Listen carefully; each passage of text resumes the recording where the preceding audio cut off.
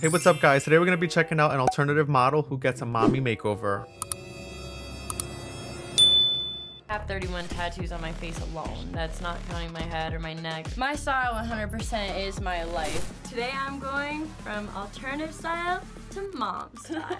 I am too excited for this mommy makeover. I cannot wait. I do love her style. It's different. It's it's different. These are like my chokers and everything I wear. Well, this is 100% me and a lifestyle. I've always been this way. Lizzie, you do not have to explain yourself. Everybody has a lifestyle. There's no big deal. I do like these Supreme stickers. What else you got? I grew up with alternative parents, so they never tried to, you know, hinder how I expressed myself, the things I wore. It's more than like just the tattoos as well. It literally is a lifestyle. So it's not just I have tattoos like no. The way I describe my look to everybody is like trap emo. I'm a sucker for anything with studs on it and anything that has a platform. Izzy, you have some great style. She's kind of giving me like old school Jeffree Star vibes. I know she's probably gonna kill me. I have a two-year-old daughter named Amora. People are shocked when they realize that Amora is really like my offspring. We've had a lot of misconceptions before. I'm the babysitter, I'm the big sister. Most people don't expect a mom, you know,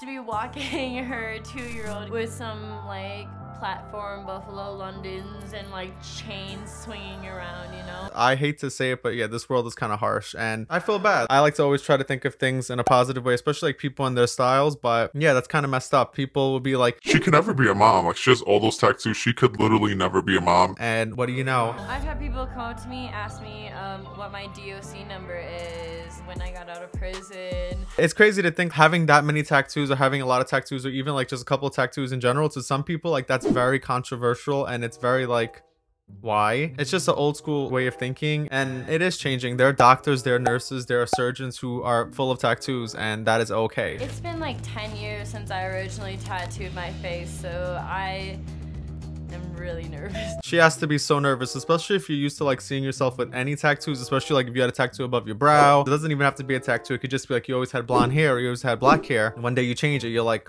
holy crap, I changed I changed, my, life. Hi.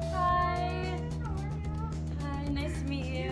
The opposite of my look, and I think anybody in the US knows what a Karen is. Like, super conservative, boring hair, boring clothes.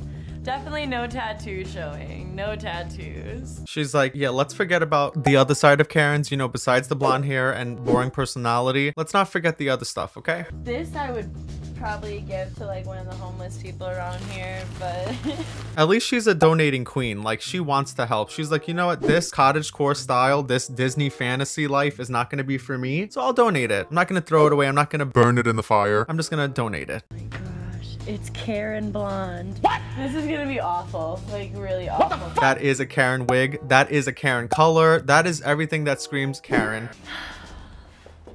I've covered tattoos, but never this this many. Well, Tori, guess what? You don't have to cover any more tattoos. You could just leave Izzy alone. Look at this. Like that dress makes the tact like they complement each other is basically what I'm trying to say. And I have 31 tattoos on my face alone. That's not counting my head or my neck or anything around. Like solely my face.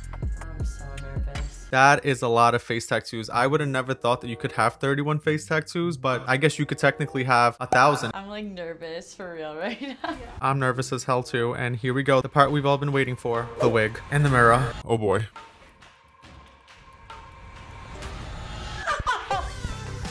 Stop! That's not me.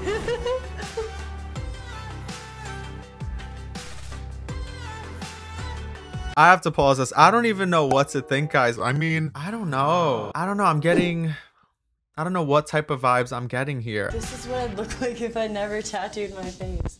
I don't know who I am. Oh my god, this is weird. I don't want to look at myself anymore. I totally understand what you're saying. It is a little freaky out of body exp- Out of body. out of body experience to look at yourself a different way than you're normally used to seeing yourself. It could be a good thing, and for something permanent as tattoos, it could be a bad thing. It's not bad. Like I look pretty, just pretty different. These eyebrows are awesome. That's what I mean. Like Tori really hooked it up with the eyebrows and the makeup. Like everything's beautiful. I feel like I'm gonna freak out my best friend and my daughter. I think it's gonna really mind blow her to see me with no tattoos. She's gonna be like, where'd they go? I've never not known her without face tattoos. I'm really excited to see what this parallel universe Izzy could be like. Wow. Oh my gosh. I'm so nervous. for Amora and her friend, I think it was Naida, to see this makeover because um, they're definitely gonna be in a shock.